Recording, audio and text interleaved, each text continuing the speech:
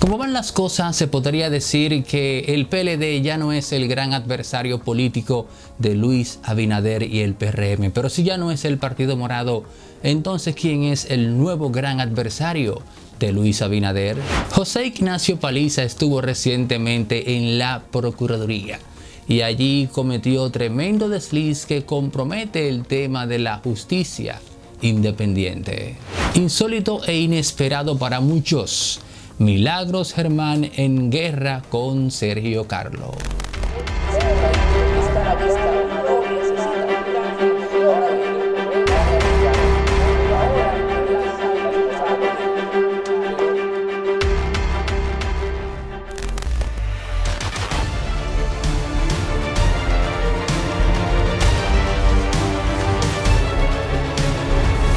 Miren, recientemente cuando a Miriam Germán le tocó ir a tomar posesión al departamento de la Procuraduría de la República, fue acompañada, o le acompañaron, por así decir, entre otros, José Ignacio Paliza. Allí estaba, por supuesto, Jean Alain, quien le entregó un documento ahí y me dicen las malas lenguas que había un cuartico que él tenía, que él no quería abrirlo. No se sabe qué había en ese cuartico, pero amén. Bueno, el punto es que cuando sale José Ignacio Paliza de esa toma de posesión, se encuentra con la prensa. Y la prensa, al encontrarse con él, pues inmediatamente abordan al ministro administrativo de la presidencia, José Ignacio Paliza. Y ese, José Ignacio Paliza sale diciendo que ahí él encontró unas estructuras que hay que eliminarlas y que hay que hacer una reingeniería de la Procuraduría General de la República.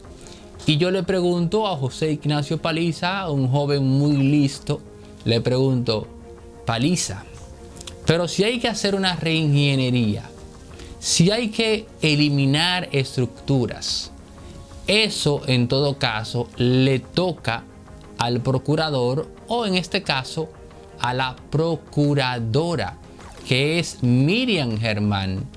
Pensé que habías ido por solidaridad porque casualmente tú estuviste con ella el día que al señor Danilo Medina y a su, qué sé yo, a su súcubo, el señor Jan Alain, se les ocurrió la brillante y genial idea, según ellos dos, de maltratarla, pisotearla delante de todo el mundo a través de la televisión nacional en aquel espectáculo dantesco de la escogencia aquella funesta en el Consejo Nacional de la Magistratura.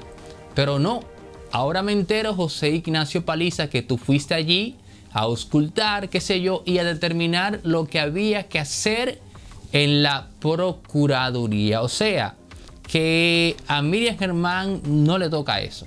Yo no sabía que ella no tenía funciones gerenciales en la Procuraduría. Paliza, cometiste un desliz. Cometiste un nuevo. Porque si tú me estás diciendo a mí que tú tienes esa potestad, entonces lo que tú estás reflejando, lo que tú estás comunicando, es que no tendremos una justicia independiente con semejante nivel de injerencia. Yo prefiero hacerme la masturbación mental de pensar que simplemente se te fue la guagua, paliza. Que ese es uno de los tantos deslices que, tenemos que, que tendremos que fumarnos, porque por más listo que tú seas, tienes 39 años. Tienes que coger experiencia. Así pues que José Ignacio Paliza con esa declaración tan alegre no hizo más que reúna o revelar que no tendremos justicia independiente, o dos, revelar que tendremos un ministro de la presidencia que tendrá todo un corolario de declaraciones y deslices desafortunados. Es que paliza, por amor a Dios, si hay que hacer una reingeniería, eso es a Miriam que le toca. Simple, ella es la que sabe de eso.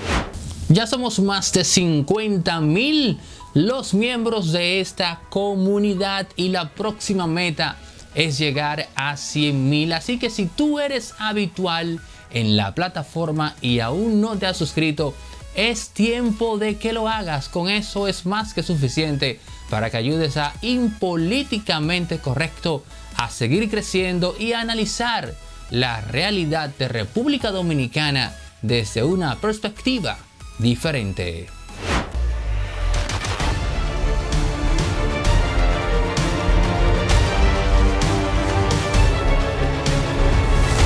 Ya es público. Del PLD están emanando figuras importantes. Se fue Tobía Crespo. Finalmente se fue Felipe Bautista, aunque él lo había negado tantas y tan reiteradas veces, pero ya está en la fuerza del pueblo. Señores, y me parece a mí que el PLD va hacia su propio entierro porque he estado en los últimos días eh, reunido con dirigentes de ese partido y debo decirles que están comprometidos con el danilismo. No sé a cuenta de qué, pero en el PLD hay un, hay un reguero de gente ahora mismo, ¿no? Que lo que quieren es que se modifique la constitución para que Danilo Medina sea candidato en el 2024. Oigan ustedes qué masturbación mental y de qué tamaño. No, pero lo más eh, lamentable es que se trata de gente joven. No, otros dicen que saben que Danilo no es el camino, pero que no hay forma de enfrentarse a esa corriente en el partido. Y yo digo desde fuera, a los amigos que tengo en el PLD que si eso es así, vayan preparándose entonces para el entierro y los nueve días. Y que se olviden del poder. No, es más, yo voy a ser más drástico. Olvídense de ser opción de poder en el año 2024. Olvídense de eso. Entonces, ¿qué significa eso, señores? Si el espectáculo que tenemos en el PLD es uno que por donde quiera que usted sume, el resultado no es una ecuación del poder. O lo que tenemos entonces es que sacar al PLD del escenario de los gladiadores del poder de cara al año 2024. Eso evidentemente deja por un lado al PRM y del otro lado entonces deja a Leonel Fernández y la fuerza del pueblo. Así como lo escuchan. Porque cuando usted analiza en retrospectiva, ¿no? Todo lo que se vino dando entre el PLD y la fuerza del pueblo, nos quedó claro a este segundo de que aquella, aquella disquisición que había aquel debate de quién era mejor estratega ya tiene respuesta. Leonel Fernández por la milla. No es tanto de mi devoción, pero debo ser objetivo. Con lo que acaba de ocurrir en, este, en esta recién culminada contienda electoral, quedó demostrado de que Leonel Fernández por mucho es mejor estratega político que Danilo Medina, que quedó evidenciado como un individuo muy emocional y que fue capaz incluso de, hacer cosas infantiles, como lo que le hizo Miriam Germán en el Consejo Nacional de la Magistratura. ¿No? Entonces, aquí hay algo interesante. Porque resulta que yo me he enterado, oigan esto, me he enterado de que en efecto hubo un pacto entre Luis Abinader y Leonel Fernández. Pero ese pacto tuvo que ver con el tema de la justicia. Es decir, aquí va a haber retaliación política. Pero la retaliación política que va a haber será estrictamente hacia los componentes del danilismo. Oigan bien, los PLDistas con el mayor potencial de ir tras las rejas, serán todos los miembros del danilismo. De ahí es que van a salir los que van a caer presos. Ahora, cualquier elemento cercano a Leonel Fernández e incluso el mismo Leonel, eso no va. Y ese es el pacto que tuvo Luis Abinader con Leonel Fernández. Pero a de ese pacto, lo interesante es que se debilita el PLD, se fortalece el, digamos, la fuerza del pueblo. Y Luis Abinader no podrá utilizar o no podrá hacer nada en temas de, qué sé yo, de corrupción contra la fuerza del pueblo porque ese fue el acuerdo de ellos dos. ¿Qué les parece esto? Eh? Claro, yo podría intuir que a Leonel Fernández le, le interesaría que fuera así, porque a Leonel lo único que faltó en los gobiernos de Danilo Medina de cara a Leonel Fernández fuera que a el expresidente Fernández lo metieran preso, cosas que Danilo no hizo. Pero fuera de eso, lo que le hicieron fue literalmente hablando de todo. Por eso a Leonel le interesó ese tema en específico de cara a los danilistas. Sacarlos de circulación de muy mala manera. Pero esto condena al PLD momentáneamente y fortalece a Leonel. Y lo convierte entonces en el adversario político del PRM de cara al año 2024. Pero lo irónico aquí es que ese pacto es lo que convierte a Leonel entonces en ese gran adversario político del PRM en el 24, a menos que no surja algún elemento inesperado, que ya yo no lo dudo, que sea capaz de, digamos, de sobreponerse incluso a un mismo Leonel, minimizarlo y ser entonces la antítesis del PRM y Luis Abinader.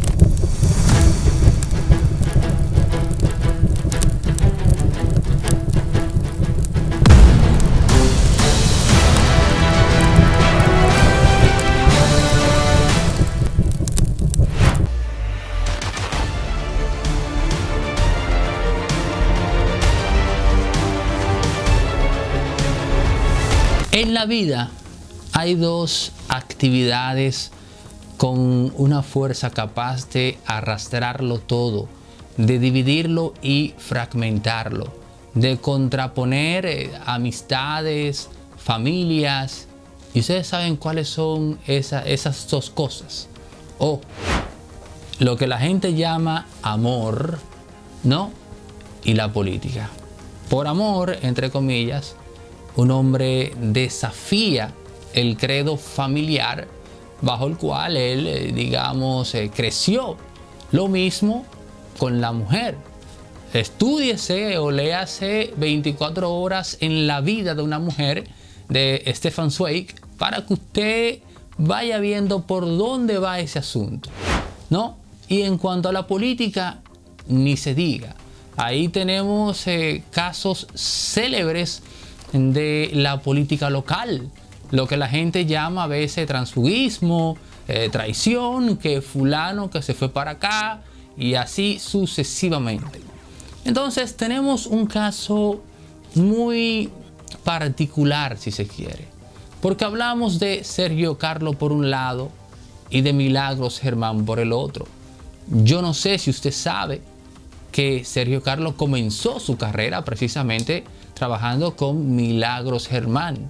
Él fue su editor antes de pasar a ser el co-conductor durante muchísimos años del programa Chévere Night. E incluso el Antinoti comenzó sus primeras transmisiones a través de, del programa de Milagros Chévere Night. Luego lo cortaron, lo sacaron, no sé. Y finalmente él decide hacerlo entonces vía YouTube. Cuando yo vi que nombraron a Milagros Germán como vocera de la presidencia, me intuí que en algún momento Sergio Carlos y ella iban a chocar. Y ese momento ha llegado y estamos siendo testigos del mismo. Recientemente Sergio Carlo criticó de manera muy dura el nombramiento de un hijo de la alcaldesa en el, en el Ministerio Administrativo de la Presidencia como viceministro. Y la crítica sirve también, obviamente, para ampliar el espectro a todo aquel nombramiento de familiar, de funcionario, en alguna, en alguna posición del gobierno. Un día después sale de manera casual, entre comillas, nada más y nada menos que Irving Alberti, diciendo que por él Luis Abinader puede nombrar a toda su familia, que a él lo que le importa es que lo hagan bien y que nos saquen del lugar en el cual el país se encuentra a este momento. Tomando en cuenta que Irving Alberti trabaja para Milagros Germán, no sería descabellado pensar que se trató de alguna defensa encubierta mandada incluso por la misma Milagros Germán en desmedro o más bien en respuesta a la crítica muy dura de Sergio Carlos, quien llegó incluso a decir que vamos por el mismo camino. Ahí tenemos entonces el primer gran enfrentamiento entre Milagros Germán y su pupilo Sergio Carlo. Definitivamente la política y su capacidad para dividir relaciones humanas de años y años. Este es un ejemplo de cómo la política tiene la capacidad de dividir relaciones de años y años y este caso de Sergio Carlo y Milagros Germán es apenas el más reciente y les diría que no esperemos que este sea el último enfrentamiento de Milagros Germán y Sergio Carlo.